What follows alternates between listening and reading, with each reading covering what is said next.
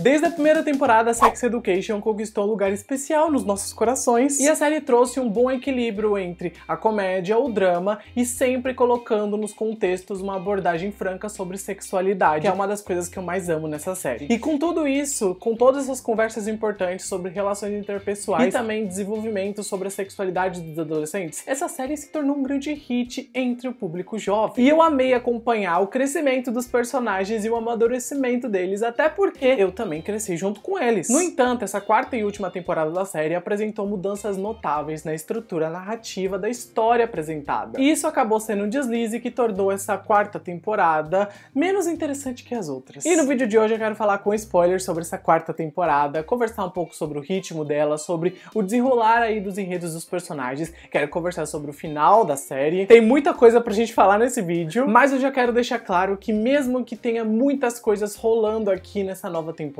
e essas coisas serão comentadas por mim durante o vídeo, ainda assim, essa série tem um espacinho ali no meu coração. E eu imagino que tem um espacinho no coração de vocês. Ela já foi importante para mim. O Otis e a Jens já ensinaram coisas que eu não sabia e eu acabei aprendendo graças à série. E também eu acho que ela foi importante para é, abraçar muitas causas e abrir os olhos de muitas pessoas sobre a sexualidade, sobre os seus corpos. Então é uma série muito importante e eu não desvalido isso em momento algum. Na verdade, para mim, as duas primeiras temporadas são obras-primas que sempre enaltecerei na Netflix. Então, se você já assistiu a quarta temporada e quer saber um pouco mais sobre ela, fica comigo porque vamos falar sobre isso neste vídeo. Mas antes, deixa o likezinho que é muito importante. Se inscreva aqui no canal para receber próximos conteúdos de séries de filmes. Fala muito sobre isso aqui. E claro, comenta lá embaixo o que você achou da temporada e tá tudo bem discordar de mim. Se você discordar de algum ponto, tá tudo bem. Só deixa lá claro nos comentários porque eu acho que o debate é a parte mais legal é, de eu fazer um vídeo aqui, porque eu gosto de saber o que vocês interpretaram da temporada, eu gosto de debater um pouco mais com vocês, então comenta lá embaixo. Então tá, a última temporada de Sex Education começou de uma maneira bem promissora. As cenas iniciais com o Otis se depilando para tirar uma nude pra Maeve foi hilária. E esse é o típico tom de humor que a série sempre gostava de trazer pra gente nas temporadas anteriores. E foi ainda melhor ver as nudes do Otis sendo projetadas no telão da escola. Isso me arrancou boas risadas. Entretanto, ainda nesse primeiro episódio, ficou claro para mim que o ritmo da série estava muito diferente. E a divisão dos enredos acabou sendo uma coisa que eu notei que foi um empecilho para as histórias ali se conectarem. Tanto que se vocês notarem, todas as três temporadas anteriores tinham um grande enredo que englobava tudo e conectava os personagens no final das contas. Mas nessa temporada não existiu e todos os personagens agiam de maneiras isoladas. E além disso, na minha perspectiva, essa foi a temporada que mais teve personagens sendo desenvolvidos ao mesmo tempo. Acho que tinha uns 28 personagens sendo desenvolvidos aí durante os episódios. E isso aconteceu graças ao acúmulo de personagens que veio sendo aí acrescentado durante as três primeiras temporadas. E a gente teve a adição de novos personagens nessa quarta temporada. E é incrível que todos os novos personagens, na minha visão, foram chatos. Acho que a menos irritante foi a O, aquela que tava disputando ali a vaguinha de é, terapeuta sexual da escola junto com o Ortiz. Sei lá, essa dinâmica dos dois não foi uma das melhores, daqui a pouco a gente fala disso. Mas eu acho que ela é uma personagem que tinha muitas camadas e a série conseguiu desenvolver essas camadas à medida que os episódios foram passando. E ela também era uma boa terapeuta sexual, isso não dá para negar. Eu amei ela ajudando os personagens durante a temporada, tanto que que se vocês notarem, ela ajudou mais os personagens do que o próprio Otis nessa temporada. Mas enfim, de resto, dos novos personagens, a maioria deles foi, tipo, bem esquecível, sabe? Vamos começar pelo peguete da Vivi, que acabou machucando ela do nada e ele não agregou em nada na história, só trouxe um debate superficial sobre relacionamento tóxico e abusivo. Tanto que até agora eu tô tentando entender o porquê que esse cara surtou do nada. Não foi uma coisa construída ali de uma maneira um pouco mais lenta, mostrando, sei lá, sinais pra gente de que ele era meio estranho. Não, a série simplesmente abordou ele no começo como um anjo, como um fofo, e do nada ele surtou. E assim, ele nem conhecia a Vivi e mudou da água pro vinho, e o enredo desses dois parece que foi colocado só pra é, dar um propósito ali pra Vivi, porque até então ela só era uma nerd estudiosa e nada mais que isso, e ela ganhou um enredinho pra no final ela falar: ah, ah, sai de perto de mim porque eu não quero você aqui. Mas sei lá, tipo, a Vivi é uma personagem que eu gosto, mas que não tem muita importância, sabe? E esse enredinho dela também ficou ali, jogado. Também tivemos aquelas três pessoas populares, e duas dessas pessoas eram o Roman e a Abby, eram um casal ali passando por problemas de relacionamento que poderia ter sido trabalhado de uma maneira menos intrusiva na minha visão. Os personagens pareciam às vezes muito esquecíveis e irritantes, e a positividade deles era mais exagerada do que o normal. Eu até entendo que a série quis abordar a positividade tóxica, daqui a pouco a gente também fala um pouco mais sobre isso, mas sei lá, os personagens eram tão irritantes e não eram tão simpáticos que cada sorriso que eu via no rosto deles eu ficava, tá, Vamos para a próxima cena. Ah, e claro, eu não posso deixar de mencionar alguns encostos que foram presentes da terceira temporada que apareceram nessa quarta. Um desses encostos é o Isaac, que eu continuo não suportando, mesmo que ele tenha melhorado minimamente nessa nova temporada. Para mim, ele ainda continua irritante, tanto que eu não senti química alguma entre ele e a Amy. A série tentou colocar os dois juntos, tentou criar um romance forçado, não senti. Na verdade, na minha perspectiva, ele ainda apagou um pouco do brilho dela, de uma personagem que eu amava, tipo, eu queria só abraçar abraçar ela,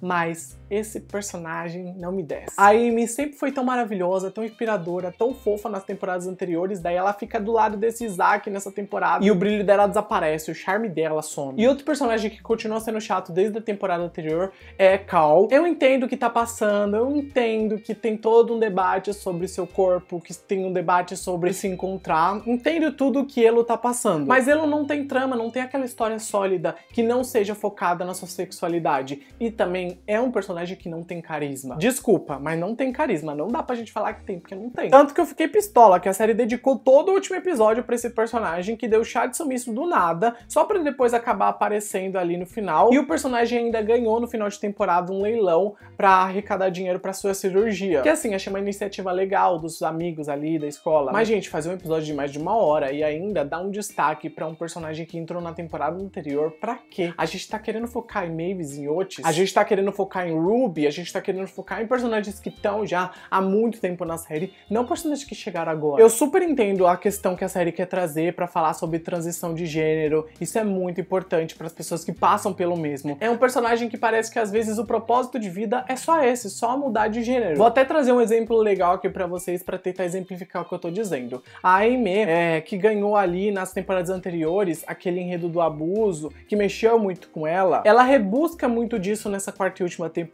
ao lado do chato do Isaac, que ganhou um pilote junto com ela ali, envolvendo a paixão dela por fotografia e por pinturas. E assim, essa paixão dela movimentou essa trama anterior do abuso e fez ela finalmente conseguir superar isso. Tanto que ela até queimou o tal jeans no final de temporada enquanto ela tirava as fotos. E o Isaac, que é um personagem que eu não gosto, eu ainda sei aceitar que ele foi um personagem importante para ela durante essa quarta temporada. E ele também ajudou a quebrar um pouco da positividade tóxica naquela escola, envolvendo principalmente aquele trio de populares. E claro, ele trouxe aqui na temporada um bom debate sobre acessibilidade com aquele enredo envolvendo o elevador quebrar diversas vezes. Foi um debate necessário. Só que eu continuo achando ele um personagem chato e sem sal. Não vou mudar minha opinião. Não gosto do Isaac. E eu também sinto que a série colocou alguns debates aqui na história que poderiam ter sido tratados de uma maneira bem diferente. Alguns soaram um pouco aleatórios, sabe? Em momentos bem desconexos, onde não era o momento certo para debate X ou Y. Não me parecia algo natural. Na verdade, a maioria das coisas nessa temporada não me soou natural. Parecia, na verdade, que a temporada foi escrita por algum twitteiro, principalmente porque alguns debates não foram abordados com leveza e naturalidade, foram abordados com muita agressividade. E um dos poucos enredos que não trouxe grosseria, não trouxe é, agressividade, foi um enredo bem mais natural, foi o que envolveu o Eric, que tinha toda aquela questão religiosa desde as temporadas anteriores, e aqui isso volta à tona com ele indo para a igreja e procurando a aprovação das pessoas que frequentam aquele local. E ele até queria ser batizado, eu achei muito isso. É, mas todo esse desenvolvimento foi o passo final para ele se aceitar do jeitinho que ele é, mesmo que as pessoas à volta dele não aceitem. E tipo, aquele momento que ele viu aquela figura é, misteriosa ali, religiosa na frente dele, e ouviu que ele não precisava se encaixar numa religião para acreditar, esse foi um momento de chavinha de virada para ele, tanto que no final da temporada ele até decidiu que queria virar pastor, e esse foi um arco muito importante da temporada que agregou muito, que desenvolveu o personagem e que deu um encerramento muito legal para ele. E ouso até dizer que eu achei a Abby mais natural e menos forçada quando ela tava ajudando o Eric no prato feito ali da igreja. Tipo, era um local muito incomum para esses dois personagens dialogarem, mas eles conseguiram arranjar um ponto ali diferente para conseguirem desenvolver quem eles são. Então, a Abby era uma personagem que tinha muito mais potencial do que a temporada pôde entregar. Eu queria que o trio de populares fosse mais realista, igual aconteceu nessa cena, e menos exagerado, como aconteceu no resto da temporada. Enfim, o enredo do Eric foi ótimo, só achei meio incoerente ele se afastar do Otis em um ponto da temporada que eu fiquei, gente, não, isso não condiz com a amizade desses dois. Porque até agora a gente viu que a amizade deles é uma coisa muito forte, a coisa mais forte dessa série, então eles se afastarem foi uma coisa que eu fiquei, ah não, tá rolando aqui. Porém, graças ao bom Deus, eles resolveram voltar a ser amigos. Então, terminamos a temporada de uma maneira boa. Agora, sobre outros personagens, temos também o Jackson, que ganhou um pilote ali envolvendo o caroço no saco dele, que fez ele descobrir um pouco mais sobre quem era o pai dele. E isso trouxe à tona uma conversa com as mães que agregaram muito no enredo do personagem, desenvolveram um pouco melhor ele. Ele até recebeu aquela dedadinha no ânus, que foi muito hilária. Enfim, foi um subenredo da Horinha que eu não tenho muito o que debater, porque assim como o enredo da Vivi foi algo bem mais é, jogado ali, né? Só pra desenvolver um pouco o personagem, para falar que ele tava presente na temporada. Mas foi um enredo que para mim funcionou bem. E é até aquele enredo que mostra que é possível você fazer um enredo pequenininho, um enredo um pouco mais enxuto, com conteúdo. Também tivemos o um enredo da Jim e a Julia Anderson, sempre arrasa vivendo essa personagem. Te amo, Julia Anderson. E aqui a gente viu que a Jen tava enfrentando uma depressão pós-parto depois de ter a Joy. E ela tinha que cuidar dessa criança e ao mesmo tempo voltar à rotina de trabalho, porque ela queria é, apresentar um programa de rádio. Foi muito bom ver ela sendo uma mãe solteira determinada. Uma pena que o enredo de mãe e filho com o Otis foi deixado de lado. E quando esse enredo era trabalhado e colocava os dois para brigar, eu não queria briga, eu queria mãe e filho conversando normalmente, mas série não quis isso. Então foi um pouco decepcionante para mim. Porém, o arco envolvendo a Irmandadinha Joan veio a calhar nessa temporada, principalmente pro enredo da Jean, que eu achei que poderia ter ficado estagnado, mas eles conseguiram dar uma volta por cima e a gente conseguiu desenvolver melhor a infância das duas, curtir a dinâmica de irmãs. A Joanna foi uma das personagens interessantes dessa temporada que apareceu do nada, mas que trouxe algo relevante para a história. Ela era carismática e ainda era divertida, e o enredo dela envolvendo abuso na infância tá ligado aos seus problemas atuais atuais, incluindo o consumismo desenfreado, que tornou ela uma mulher endividada, foi algo muito interessante para a história dessa temporada. Enquanto isso, o Adam foi um personagem que largou a escola, teve que arranjar um emprego, só que o seu emprego parecia um enredo bem arrastado que estava deslocado do enredo principal. E o personagem nessa temporada era um peixe fora d'água. A gente sentia que a abordagem dele sempre estava pulando de um lado para o outro. A bissexualidade uma hora é abordada com a chefe dele, outra hora ele estava cuidando de cavalos, outra hora estava aprendendo a dirigir e se entrosando com o pai. Outra hora tava focando com a mãe. Tipo, parecia algo que não se encaixava bem na série. Não tinha sinergia esse enredo com o resto que a gente estava acompanhando. E nem é porque é um enredo chato. Não, longe disso, o enredo não foi chato.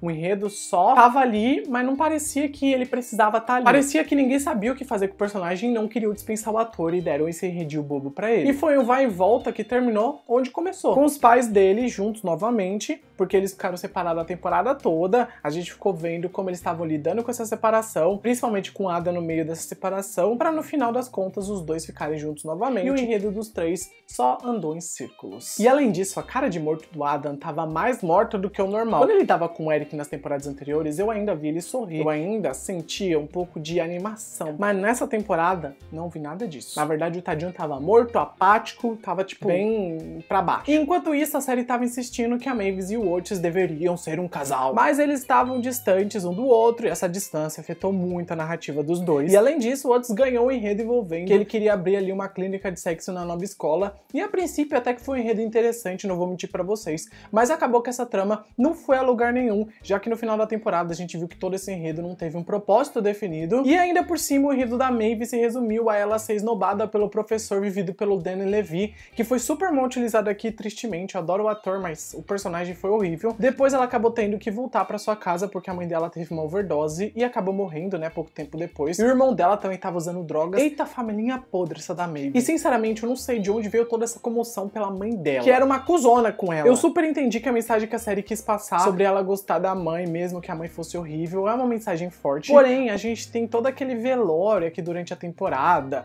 Uma mulher que nem merecia nada disso teve um velório. E todo esse enredo em torno da morte, para mim, só serviu para gastar tempo, que poderia poderia ter sido abordado de outra maneira. Na verdade, todo o pilote da Maeve nessa temporada foi bem fraco e o romance dela com o Otis foi inconsistente. E terminou com aquele final broxante dos dois decidindo não conversar mais por mensagem. E eu fiquei tipo, que merda foi essa, gente? O que, que rolou aqui nesse final? Até achei bonitinha a carta que ela deixou para ele, falando que ele ensinou ela a ter amigos, sobre o quão bom foi os dois abrirem a clínica na primeira temporada. Mas sei lá, tipo, mesmo com essa carta legalzinha no final, foi um final xoxo. Não era o final merecido para os personagens e não era o final legal pra série. Tanto que eu não sei se vocês sentiram mesmo que eu, mas essa temporada não parecia uma temporada final. E o final não parecia um final de série, parecia um final de temporada mesmo, que os dois terminariam separados. Novamente, gente, a maldição de Sex Education com esses dois separados. Porém, mesmo com tudo isso que eu mencionei, uma coisa é certa nessa temporada. A Ruby continuou a brilhar. Eita personagem carismática, eita personagem linda, eita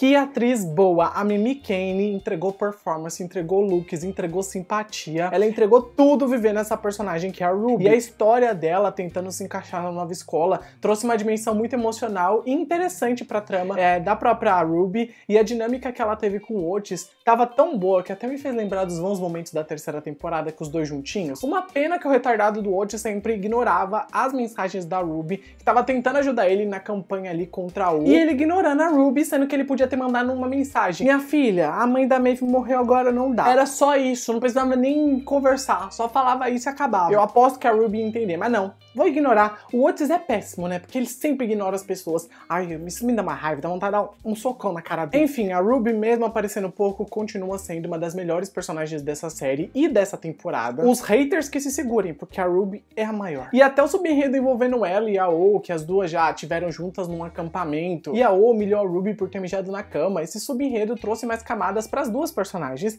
E a propósito, bom que eu falei da O é que aquele vídeo musical que ela fez lá pra campanha dela, Jesus, foi uma das coisas mais vergonhosas que eu vi nessa série. E no final de temporada também essas campanhas nem levaram a nada, porque acabou que o enredo das clínicas não deu em nada, já que o Otis desistiu do cargo, passou o cargo pra O e a Tadinha vai ter que cuidar desse bando de adolescente irritante. E enfim, essa temporada foi a mais fraca de Sex Education na minha visão. Não diria que foi ruim, porque eu ainda amo os personagens e eu já destaquei alguns pontos positivos dela durante o vídeo. E eu até tenho mais para destacar, como uma fotografia linda que permanece impecável desde a primeira temporada, os figurinos que também são ótimos e as atuações que sempre se sobressaem. Tem muitos atores bons nessa série, nem todos, mas a maioria é bom. Entretanto, a série acabou abraçando tantos temas nessa temporada que acabou não abordando nenhum da maneira como deveria. Além disso, ela não conseguiu criar um conflito central que unisse todos os personagens, assim como rolou nas temporadas anteriores. E as divisões dos personagens em enredos muito unitários acabou impactando demais no ritmo da temporada e nos seus enredos. E também o foco em alguns personagens chatos é, acabou também sendo um empecilho para essa temporada, né? Pra mim, a série teve um final bem meia boca com aquele desfecho da Maeve do Watch, gente, não, não, não. Ela merecia coisa melhor, não era o final adequado, deixou um gostinho amargo na minha boca quando eu terminei, fiquei um pouco chateado. Mas me conta o que vocês acharam do final de Sex Education. Se chegaram até esta parte do vídeo, coloca uma berinjelinha nos comentários que eu quero muito saber quem viu até aqui, porque eu falei muito nesse vídeo. Já sei que os comentários terão vários julgamentos sobre alguns pontos aqui do vídeo, mas enfim, paciência. Me conta aí se vocês gostaram do que eu falei, se vocês concordam ou discordam, deixa o like que é muito importante. Se inscreve no canal para próximos conteúdos de séries de filmes. Eu fico por aqui, grande beijo e tchau!